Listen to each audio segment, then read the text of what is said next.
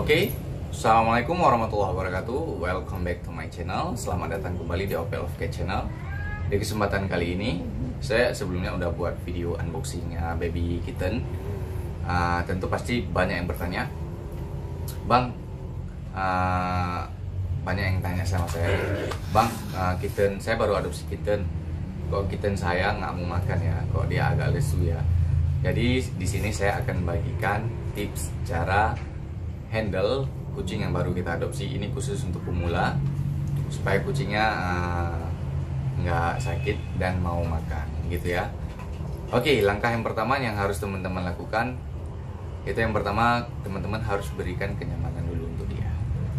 Biasa sih kalau kucing, apalagi anak kucing, itu kalau pindah rumah dia agak stres, agak penakut, ya bukan pindah rumah aja kalau baru diadopsi yang kitten terutama dia pertama pisah dengan induknya. Kemudian yang kedua dia pisah dengan kawan-kawan dia dan juga yang ketiga suasana tempat tinggal dia itu berbeda. Itu membuat dia uh, stres dan membuat dia nggak mau makan nggak mood dan takut. Jadi teman-teman yang harus teman-teman lakukan jangan eh hey, biasa biasa ini kan kucing kita gabung semua. Ada yang ribut-ribut ya dimaklumin aja. Karena ada satu ekor si Maggie namanya. Itu lumayan agresif karena dia lagi birahi. Oke kita lanjut. Teman-teman berikan kenyamanan sehingga kucing itu nyaman. Jika kucing itu nyaman dia pasti akan mau makan.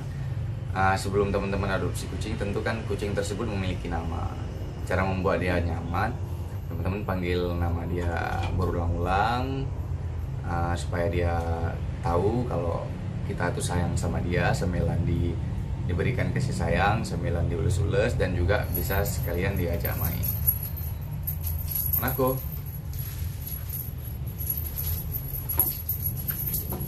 ya ini kucing saya yang udah ya, yang udah besar pun uh, masih suka main-main. Dan yang selanjutnya cara membuat kucing supaya dia mau makan kucing baru kita adopsi yaitu dengan cara memberikan vitamin. Teman-teman bisa menggunakan vitamin gel untuk untuk imunitas dia dan juga untuk nafsu makan dia supaya dia mau makan. Dan jika teman-teman tidak nggak mungkin ya nggak nggak ada nutribus gel pasti ada nutribus gel teman-teman bisa dapatkan di pet shop. Tapi jika teman-teman nggak menggunakan nutribus gel teman-teman bisa menggunakan wet food lain sempet seperti ya kalau saya sendiri kasih yang Whiskas Pouch ataupun Royal Canin eh, Baby Cat Kaleng. Saya nggak pernah kasih wet food yang merek lain. Tapi jika teman-teman uh, mau kasih wet food yang lain boleh juga. Tapi rekomendasi saya teman-teman tanya sama sama yang gimana ya? Kan teman-teman uh, adopsi kucing sama breeder teman-teman tanya ke breedernya bahwa kucing itu pernah dikasih wet food apa. Jangan dikasih wet food lain takut nanti kucingnya diare. Oke jadi yang pertama diberikan kenyamanan. Kucingnya dibelai kucingnya di, diajak berinteraksi diajak main dipanggil-panggil namanya. Dan yang kedua diberikan vitamin nafsu makan seperti Nutribus gel ataupun diberikan wet food supaya kucingnya mau makan. Itu saja sih simple untuk apa untuk uh, ngerawat kucing yang baru diadopsi, terutama yang kitten. Kalau teman-teman baru adopsi kucing, dia nggak mau makan itu jangan panik, tapi teman-teman harus memperhatikan dia dan ikuti langkah-langkah yang saya bilang tadi. Langkahnya nggak banyak kok, simple, cuma ada dua langkah.